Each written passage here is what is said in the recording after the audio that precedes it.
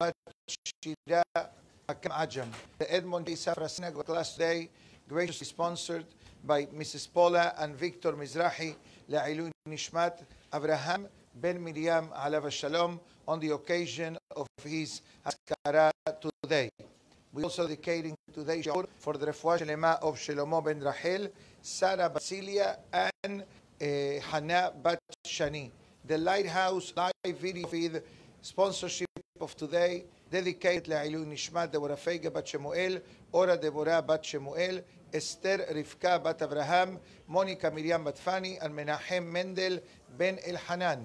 The iTorah.com sponsorship of today for the שידוכים of נחמדינה בת חנבתי, אליהו חיים בן אסתר, אליהו רפאל בן פרחה, רחל פנינה בת ג'ני, שרה סיחה בת סופי. As the Kahal Kadosh knows, בעזרת השם, this coming Sunday evening will be Tu Bishvat, Rosh Hashanah, Lailanot, the new year for the trees, Eid al-Shahar, which is a definitely a beautiful celebration, and Ba'ezat Hashem, between Sunday and Monday, we'll talk about it, God willing.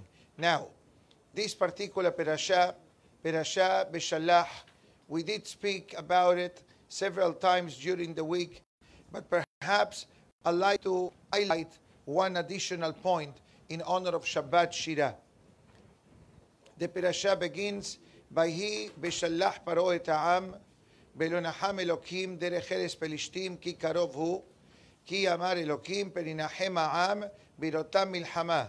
The third parasha Misraima, the third pasuk, Vayasev elokim et ha'am. Now here is the question.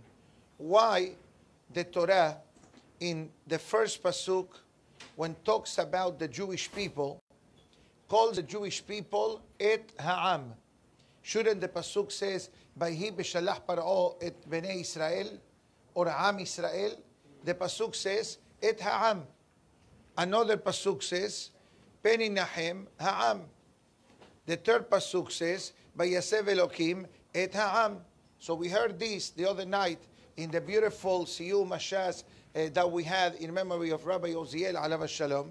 And Baruch Hashem, there were many, many, many speakers, so I cannot remember who said who and who said what. But Baruch Hashem, we heard beautiful words of Hizuk, and perhaps the message of the Torah is telling us a very important historical fact. We left Egypt, correct?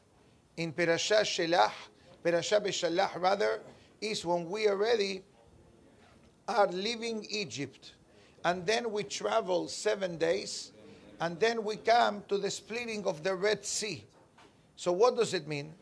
That as of now, we did not receive the Torah. What does it mean?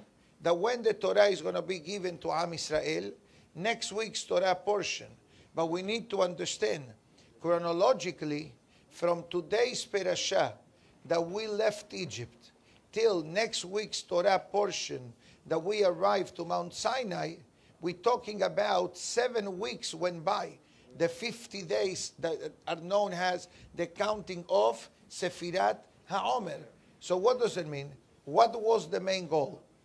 The main goal was not to leave Egypt. The main goal of leaving Egypt was what? Receive the Torah. So maybe the Torah is hinting to us that Am Israel without the Torah is another nation of the world. And that's what the Torah is trying to tell us. Yes, we were called Jewish people because we were under the leadership of Moshe, Aharon, and Miriam. But did that change us like the Torah will change us? Obviously not. For this reason, the Pasuk says in the beginning, Ha'am, the nation. We were a nation when our beauty and greatness and, and holiness will become more enhanced in next week Torah portion when the Pasuk says, "Bitemli segula mikol ha'amim, be'atem tiuli mamlechet kohanim begoi kadosh, beni bechori Israel." These are all verses. The first verse says, "You are the chosen nation. You are my firstborn. You are a nation of kohanim." What does it mean? A nation of holiness. And it is true. Today, I read this yesterday. Today, they finally are coming to realize that the coronavirus, which is regretfully affecting the world, we cannot be oblivious. There are basically, there is no continent that can say that we have no fear. In Europe, they have over three dozen cases. I hope that in America we have nothing, but there were a couple of suspicious uh, places. So, and we don't even know what's really going on in China. So, one Goy professor of a university in Spain, he made a study and he says, does not surprise me that this is what's going on in that part of the world. He says, why? Very simple, he says. The way that this nation eats, especially when it comes to the animals, they eat animals that are alive. This is the reality, Rabotai. I'm not trying to kid you, but I'm telling you the emet. And it's a known fact that it says that they eat wild animals, they eat animals that carry their own diseases, you know, and many other things that out of respect to the kahal, because you're eating and we are learning Torah, I shouldn't be more graphic in how they eat.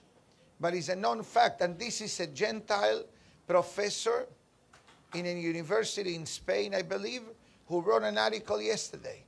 Now, the Torah, let's go back to the Torah now. In the infinite wisdom of Hashem, establishes something known in the world as Shiva Mitzvot B'nai Noah, the seven Noahide laws. The seven Noahide laws are established by the Torah in order to preserve the well being of the world, the sanctity of mankind, including Goim. You know, many times people erroneously believe that Goim have a free ride, Gentiles have a free ride in the world. They don't have a free ride. Every citizen of the world must follow the seven universal laws for mankind not to kill, not to steal, not to commit idolatry, to believe in God, the establishment of the judicial court system, immorality, including same gender relationships. It's not only a prohibition for the Jewish people, it's a prohibition even for Goim. We need to understand this that the Goyim also carry a certain responsibility in preserving the normal decency of the world. That's what Sefer HaChinuch writes. And therefore, what is mitzvah number seven? Ever minahai, the prohibition of eating animals while they are alive. Now, you can believe it or not. I'm going to go back to one week's parasha to see the relationship between eating raw food, raw flesh, or animals and the coronavirus. It's mentioned. You just need to find it. I will find it for you right now. Give me a minute.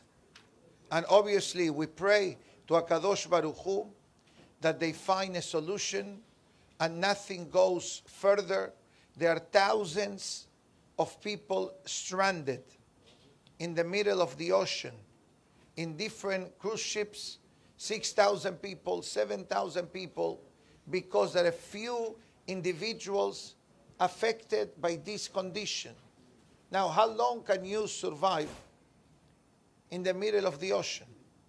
how much food they have, and how much sanitation they have to go. So we hope and pray to the Almighty that things will fix right away. Now, the Pasuk tells us, I want you to listen to this, and I will show you in the video so you can watch it in the big screen in a moment. The Torah in last week's Torah portion talks about the requirements for Korban Pesach, the Pesach sacrifice. The Torah says, "Ve'achelu et habasar balayla hazeh." You will eat the meat in the night of Pesach. Seli esh. It needs to be roasted. Umasot, with masot, al merorim yocheluhu. Eat it Pesach, masa, umaror, like we do every night of Pesach in the Seder. Comes the next pasuk, and please pay attention to the pasuk. I'm not going to translate the pasuk. I'm going to read the pasuk, and I'm going to read Rashi. And pay attention to the words. Al tochelu mimenu na. Ubashel mebushal b'mayim ki im seli esh.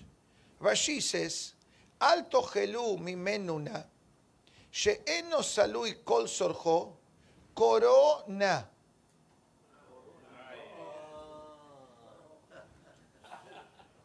I'm going to show it to you black and white. So you don't say that I'm making this up. When I read this, this verse and I said, Al tochelu mimenu na. Let's ask anybody born in Israel here, speaks Hebrew fluently, you in Israel, what does it mean in Hebrew, na? Please. That's all it means. El na refa na la. Na means please. But comes Rashi and it says, in food, the Torah calls it, and I'm going to show you right away. Get, the, get my finger on the screen. Do you read it? Read it back. She'eno salui, that is not cooked or roasted sufficiently, corona. Corona. Guys, you see it? Belashon Arabi. This is, now you may say, Rabbi, the word koro means calls them. Anna means raw. But I ask you a question now. From all the words that you can choose to write this Rashi a thousand years ago, he picks the word corona. If it's me writing, I will have written, Kol she'eno eh, salui kol sorcho, HaTorah omeret na. But Rashi said, Koro na. A thousand years ago. Rabotai, obviously, we are believers. We are believers, and we understand that the pathways of the Torah, as the Pasuk says, Deracheha darche noam, bechol netivoteha shalom. Every message every fence, every guideline of the Torah that we receive, and I'm not talking only about Am Israel, but even for the nations of the world, there is a benefit that comes to it. So, Ba'ezat Hashem, let us hope and pray that those who eat live animals, they should stop eating live animals. I'm not talking about any of us, but I will tell you a secret. I will tell you a secret that don't neglect the prohibition of eating bugs. Bugs, insects. Relax. If people don't check the vegetables, some of the vegetables do contain insects. Perhaps you don't see it. You believe because it's organic and non GMO is ashgaha. That's not ashgaha.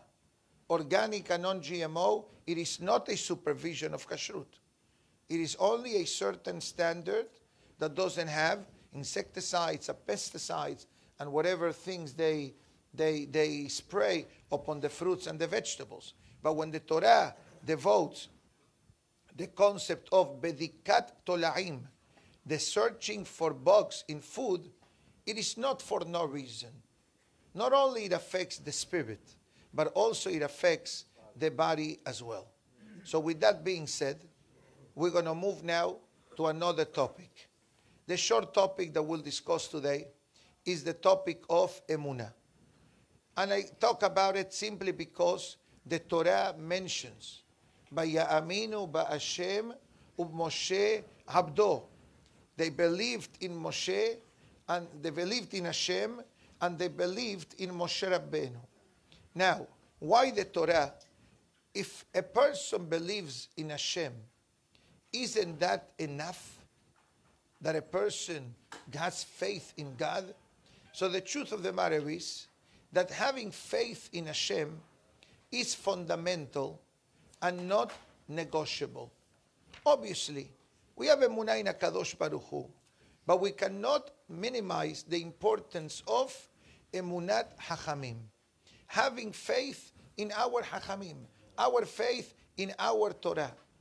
And I'm sure you know what I'm going to say now. There was a great rabbi, uh, and I think it's appropriate to mention it today, by the name of Rabbi Levi Ishak of Bardichov. Bardichev, I'm sure you heard of him. He was nicknamed as Sanegoran Shel Israel, the advocate of the Jewish people. He will always look for the goodness. He will always look for the positive, even in the face of adversity. That's a beautiful midah to have. I think that we all need to make an effort to emulate his ways. Even in the face of darkness, for him it was light. So I will share with the Kahal Kadosh a very brief prayer that he wrote, and thousands upon thousands of Jewish people recite this prayer every Mosai Shabbat, including the speaker. I'll, show it, I'll share it with you very briefly. We all know that Mosai Shabbat Saturday night, it's a very powerful night of the week. Why? Short answer is because that is the beginning of the physical week. Even though we already experienced Shabbat, and at the end of Shabbat, we wish each, uh, we wish each other Shavua Tov Umevorach. But the reason why we say Shavua Tov Umevorach is because we are entering into the physical slash financial week. So many people have different traditions on Mosai Shabbat, which I believe many of the people here listening and in the room follow it religiously. One of them is to say, Veiten Lecha. There is a prayer found in most Sidurim, I rather say all Sidurim on Mosai Shabbat. It's called Veiten Lecha Elokim this prayer of Veiten Lecha is a composition or recopilation of many pesukim from the Torah, Nevi'im, Ketubim. They are pesukim of blessings at all levels physical, financial, emotional, family, marriage. And at the end of these 30, 40 verses, doesn't take long time to say, we finish with the ultimate blessing, the blessing of peace. As the Pasuk says in Shemuel, ואמרתם כל לחי ואתה שלום וביתך שלום בכל אשר לך שלום. This pasuk is on the book of Shemuel. And this verse, it speaks about shalom, peace with yourself. You need to be at peace with yourself. Then you need to be at peace with your wife, with your family. And then, once these two elements are in the proper track, the Pasuk gives us a guarantee. Bechol asher lecha shalom. And everything that you will do and have in your life will be crowned with success and peace. How many times we say this verse? Seven times. Because you need peace every day of the week. You cannot say, I need peace between 10 and 12 p.m. You're not a bank that closes for siesta or you're going to take a nap. Don't call me from 1 to 3 or 1 to 4. Okay? Actually, we need this blessing every day. Then, there is another blessing that many people say, perhaps less than Veiten Lecha, the prayer to open the gates. Opening the gates, it's here. It's in the Kol Yaakov Sidur, a, generic blessing of well being for us individually and collectively, a week of all good things, and then you open up all the gates the gates of blessings, the gate of beracha, of joy, of wisdom, happiness. All, you have like 30, 40 gates. All this is beautiful. Comes the great Rabbi Levi Ishak of Bardichov, and he adds another prayer.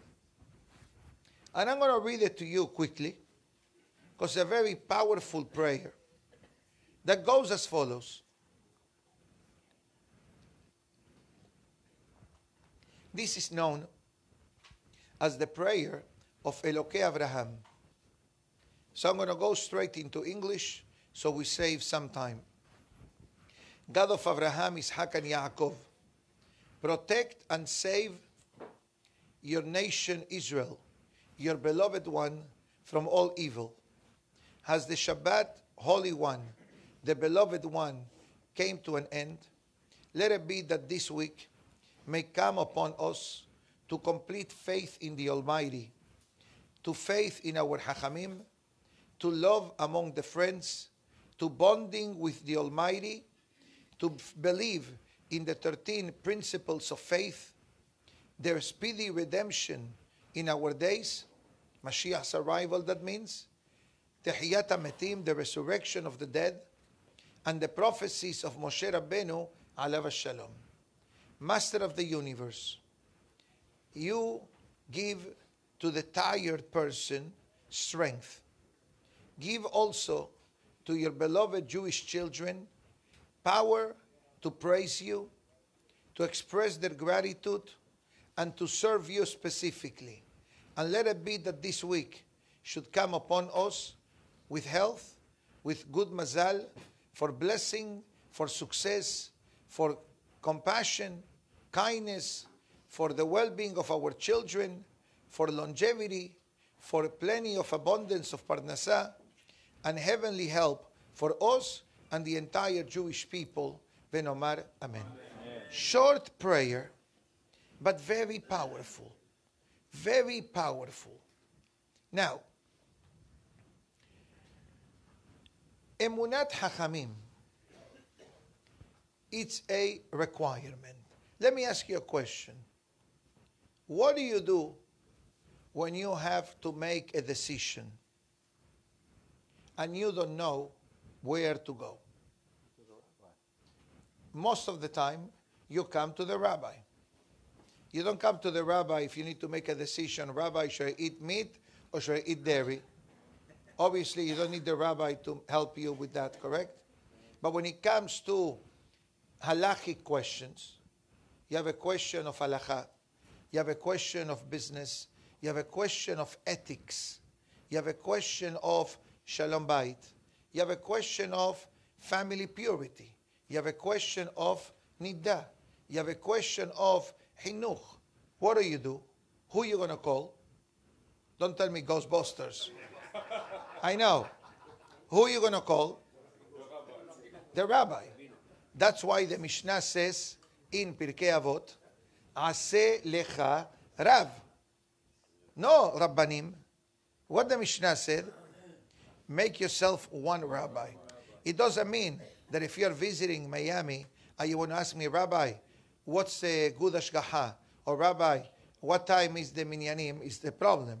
But when you're talking about serious questions related to life that you need assistance to make a decision, you need to be always in connection with one rabbi that knows you.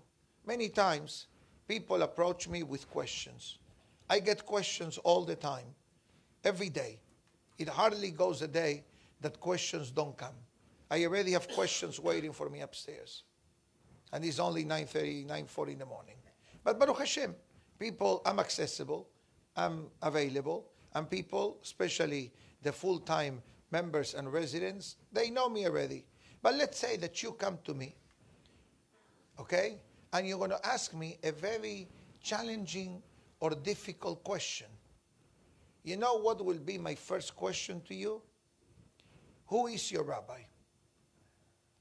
First of all, that will tell me, more or less, which pathway are you following?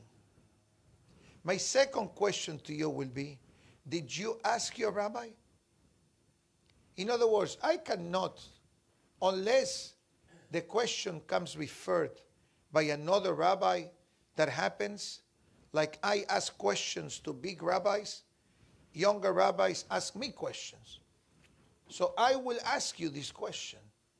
Why? Somebody asked me, why do you do that, Rabbi? I want to know your opinion. It says, first of all, I know you only as a tourist. I don't know who you are. I don't know what is, what is your marriage stance, what is your family dynamics. And you're asking me to give you an answer so you make a decision on something that I should not be involved. You understand? And that's why the Torah in today's parasha says it. Bayaminu ba'Hashem u'Moshe avdo. You can have faith in Hashem. But I ask you a question. Did you ever ask a question to God? Did you? And what did he answer you? Okay, you're a holy man. we pray. We pray. And we need to decipher the answer. Unless obvious it's an obvious answer. But many, many times you don't know the answer. You don't know what to do. And that's why the Mishnah in Pirkei Avot says, Ase lecha rav ukne lecha haber. Buy yourself a friend. What does it mean, buying a friend? A Mishnah in Pirkei Avot. Make sure that you are connected with a good friend. Why? Because friends have an influence in the life of the person. Like it or not, if the friends are good, you are good influence. But if the friends are not good, let's say you want to do something special, you want to move up a step closer to Hashem, excuse me, but your environment really doesn't contemplate promotions. They are happy where they are. So, guess what? The friends, to a certain extent, are preventing the person of growing. I'm not telling you not to have friends, but the Mishnah is telling you remember that the friends can influence you more than a person thinks and believes beautiful message from the Torah of today. Let's talk about food now. Food and emunah. How do we get from food to emunah? That's what the Zohar of today says. The Zohar says in the introduction, excuse me,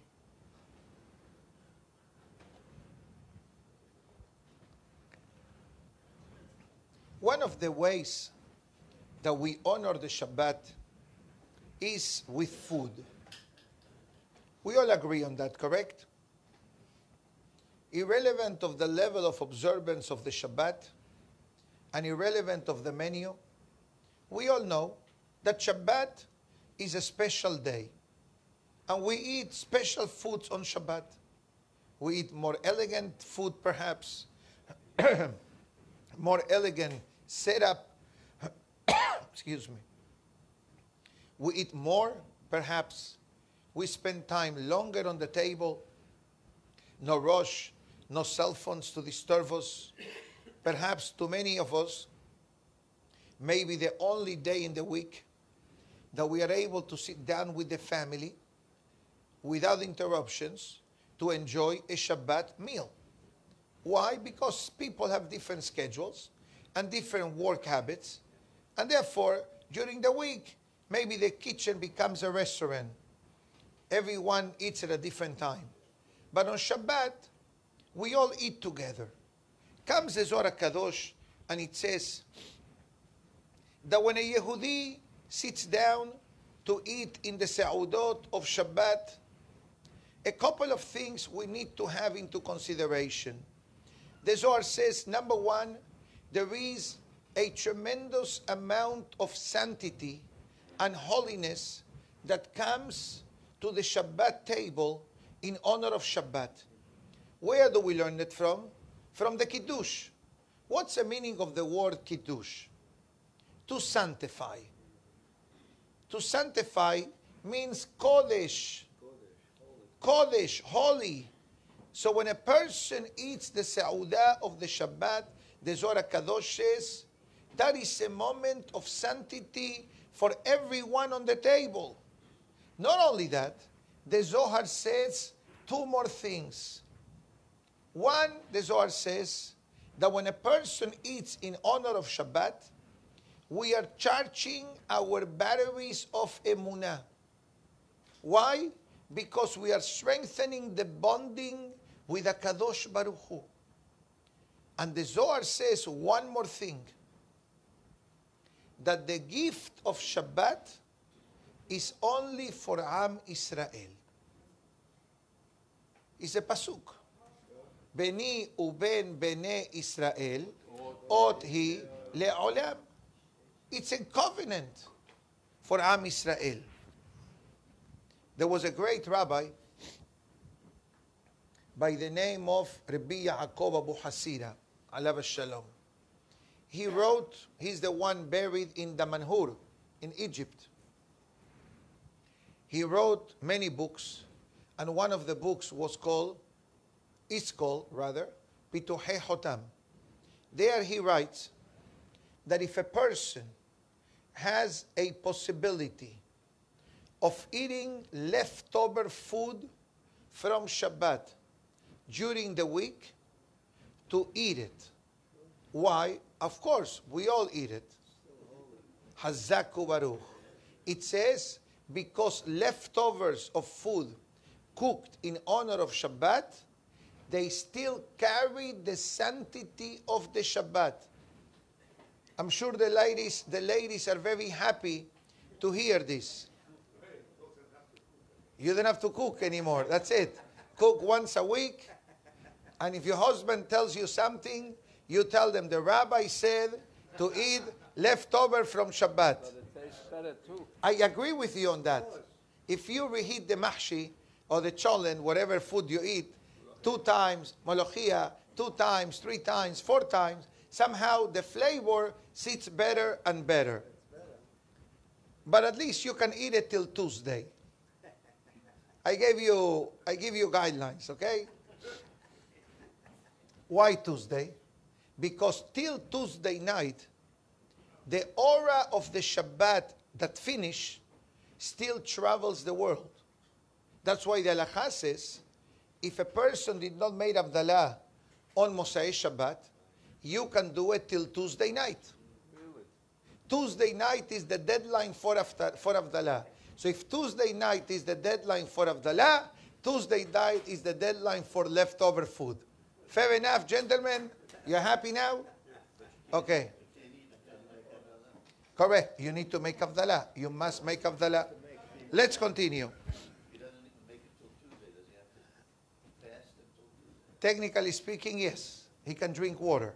But Baruch Hashem, most people, Baruch Hashem, today do Avdallah right away. So the Zohar Kadosh, with this introduction, talks about the importance of making sure that our checklist on Shabbat gets an A plus. What is the Zohar referring to? The importance of having three Sa'udot during Shabbat. And we do this. We have Friday night Shabbat dinner, Shabbat lunch, and Sa'udah Shelishit. That is a given. But Sa'udah Shelishit, many people are very light about it. They're very light. They take a fruit and that's enough. Maybe in certain cases, maybe enough. But the Zohar says that a person needs to make sure that we don't have an incomplete Shabbat by not having three Sa'udot of Shabbat. That's what the Zohar says. And therefore it says, there are benefits when a person eats the three Sa'udot. The Gemara writes this in Masechet Shabbat. Din shel Gehinnam, Heble Mashiach, umilhemet Gog umagog. The Gemara writes in Masechet Shabbat, whoever does three seudot during the Shabbat, the person will be spared of three challenging moments in the person's life. Number one, the judgment after 120 years. We all gonna go through judgment. It's not custom made. You yes, you not. Most people, could be some exceptions, but most people are gonna be judged on the actions they did, etc. So part of the benefit of buying compassion is reinforcing three Sa'udot on Shabbat. Why? Because we are certifying, the Zohar says, our emunah in Kadosh Baruch Hu. And I'm going to tell you one thing that may sound a bit strange. The Shabbat night meal connects to Ishaq Avinu. Shabbat lunch connects to Abraham Avinu. And Seudah Shelishit connects to whom? Yaakov. I'm going to ask you a heavy, fully loaded question. From the three meals, which one is the most relevant to us? Shabbat dinner, Shabbat lunch, or Seudah Shelishit? Seudah Shelishit. Seudah Shelishit is the most instrumental of our Shabbat. Why? Short answer. Because we are students of Yaakov.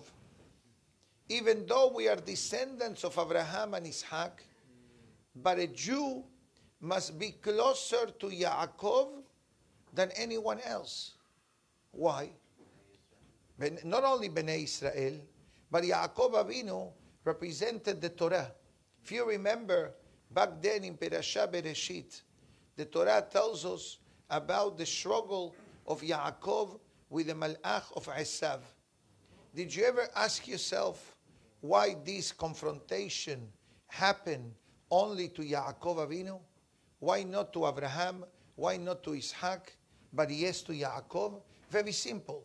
Hakol kol Yaakov.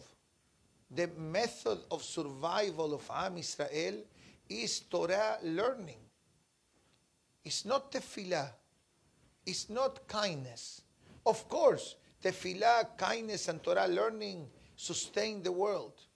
But if somebody asks you, what is requirement number one in the life of a Yehudi? Hakol kol Yaakov.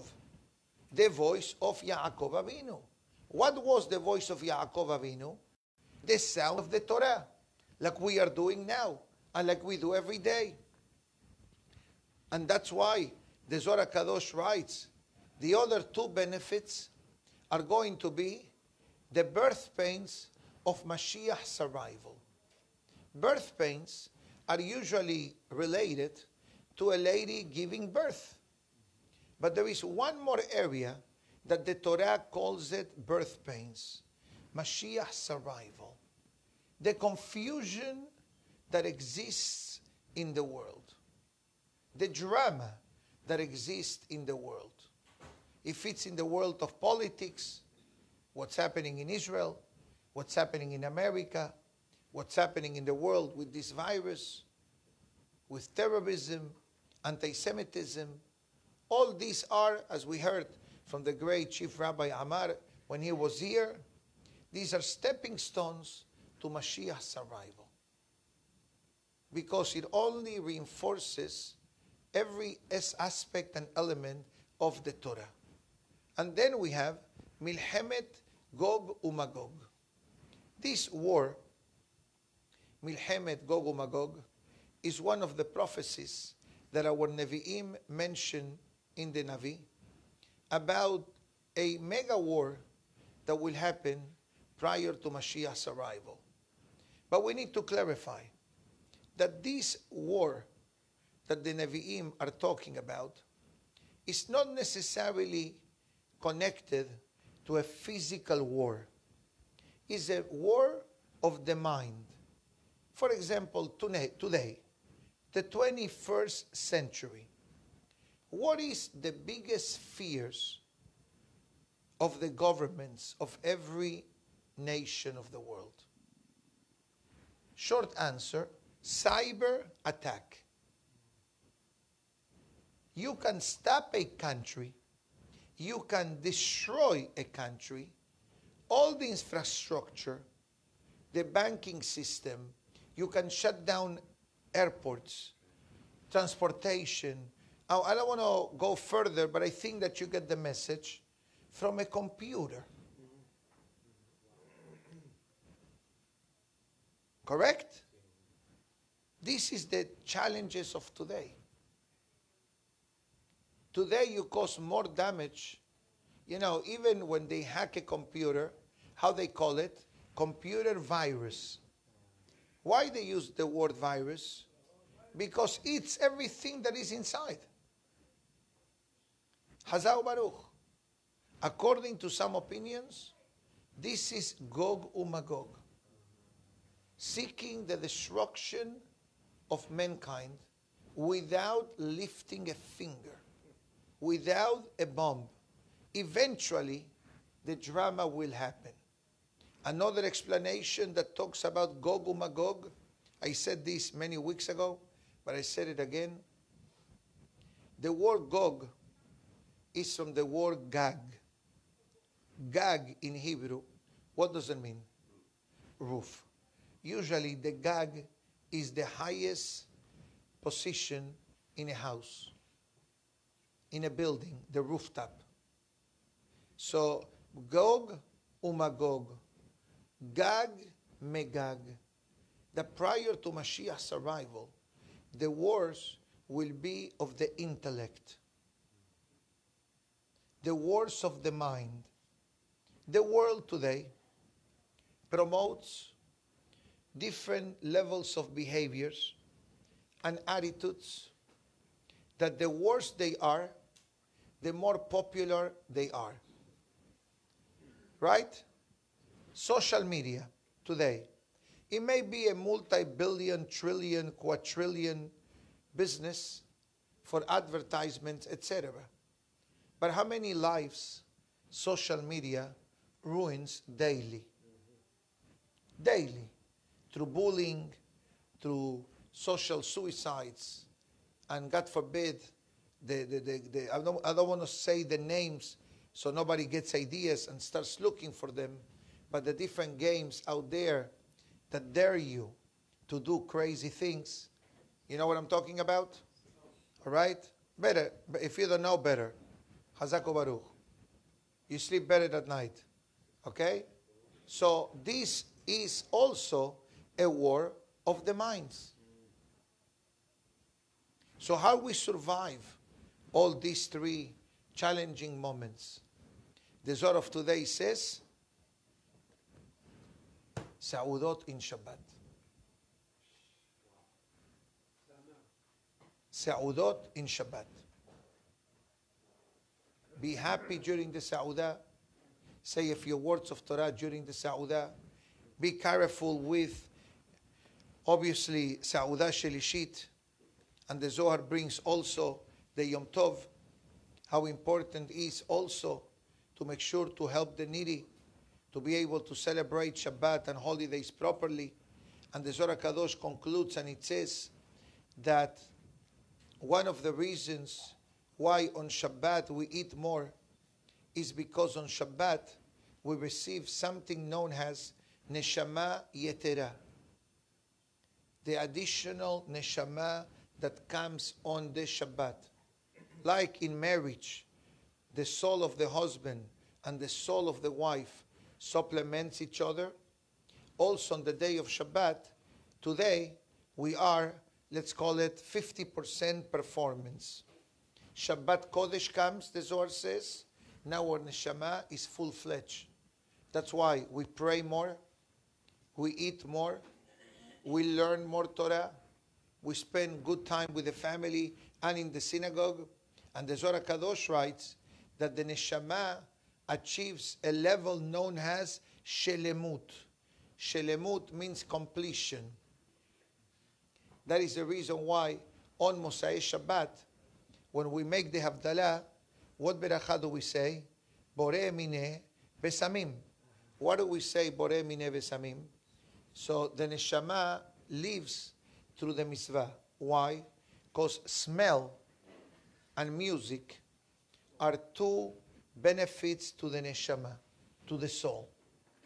Sound of music and smell affect the soul. That's why, according to the Ben Ish Hai and many Kabbalistic writings, also on a Friday night, the person should say Besamim. Some synagogues, they give it in the knis. Some synagogues do it at home. I do it at home.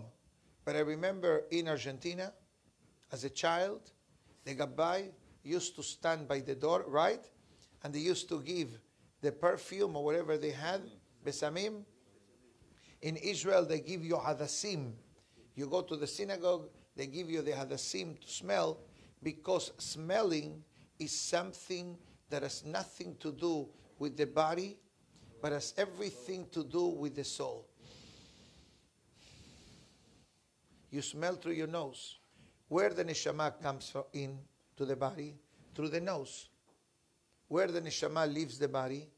Through the nose. That's why when somebody sneezes, what do you say? Salud. Haim Tovim. Why? Gesundheit. Aish. What do you say all that? Because in the olden days, up to the arrival of Yaakov Avinu, death was estornudar. Death was caused by sneezing. Because when you sneeze, you release. What did you release back then? The neshama. Until Yaakov Avinu says to the Almighty, Dear God, please, Dachilak, Rohi, it's not fair. A person sneezes and that's it. Why don't you send a warning? Send a medical condition, send certain illness, so the person can plan. The person can prepare the family. The person can make all the legal arrangements necessary before he leaves the world. God says, You gave me a good idea. You will be the first customer in the world to become sick. and the Torah says it. ויוגד ליעקב, ויוגד ליוסף לאמור, הנה אביך חולה. Yosef was informed that his father was sick. This was different than Abraham that was experiencing the pain of the milah. This was a temporary pain due to the circumcision. But Yaakov Avinu was on the bed. And this was God answering the request of Yaakov to prepare him to the final days in this world. Right? And that's why the Zohar Kadosh writes and it says the concept of Shabbat. What is the meaning of Shabbat? The Zohar says, listen to this, Shemo Kadosh Baruch Hu. One of the names of God is Shabbat. And the other name of God, Shehu Shalom. So when you say to another Yehudi, Shabbat Shalom, you are saying Hashem, Hashem. You're using the password. Shabbat Shalom. Password. And it says as Kadosh, what's the meaning of Shalom? Shalem. Completion. The Shabbat completes the week of the person. And that's why I'll finish with this. Nothing to do with the topic that I'm talking about, but I think it's important to understand why things are done in the world. In the Ashkenazic tradition, there is a very interesting custom that when a child is born, when the child is born, what they do, people come Friday night to the house of the baby. Hazaku Baruch. How is it called? Shalom Zachar. I'll translate. The Sephardic tradition is the night before the Milah, we congregate in the house where the baby is and we read the Zohar. Right? Beautiful. In the Ashkenazic tradition, there is such a costume as well, but the main Ashkenazic tradition is Shalom Zachar. That people come to the house of the baby to wish the parents Mazel Tov. But how is it called this event? Shalom, peace, Zachar, on the boy. Now, why is it called this way? Shalom, Zachar. Not only that, the menu of that night is not dinner. I'm coming to the chickpeas soon. It's dessert. That's the menu. But among the desserts, you're going to see on the table chickpeas, arbes in Yiddish, garbanzos. The question is, why they serve such a food, which usually is food of avelim, is food of mourners? I'll tell you the reason why. The guests that come to this home Friday night, they come to console the baby. They come to console the baby. Why? What happened? The baby is born. It's happiness. It's happiness for all of us, but it's not happiness for the baby. Why? Because the baby was learning Torah with the Malach during the nine months of pregnancy. And now he came to the world. And the baby is not happy. He's not happy. So we come to the baby on a Shabbat and we say, Shalom, Zachar, not to worry. We have Shabbat in our life. You have Shalom in your life, and you're going to be good, Be'ezat Hashem. And, and this is one of the reasons why, by the way, why Milah takes place on the eighth day. Besides all the spiritual reasons, but we're going to give a sample to the neshama to live one week without one Shabbat exactly, one Shabbat throughout life without the Berit Milah. So the neshama experiences before and after. Seven days is the guideline for life. What does it mean? Obviously, people live years, Be'ezat Hashem. But at the end of the day, how does the week works? Sunday, Monday, Tuesday, Wednesday, Thursday, Friday, Saturday. What happens after Shabbat? We go back to Sunday. In the dates, is easy. The first, the second, the third, 30, 31st. And you have month. But the weekdays, how many weekdays are there? Seven. So the reality of life is that life is seven days only multiplied certain amount of weeks. So we give the child the opportunity to live one complete week, which is the minimum aspect of life, and only then we do the Berit Milah. Besides the fact of the medical benefits that happen to the baby's body on the eighth day, but I figure that it's important to understand, you know, the different traditions that exist in the world. My good friends, I'd like to wish everybody a Shabbat Shalom. Baruch Adonai Le'olam. Amen ve'amen. Rabbi Hananiah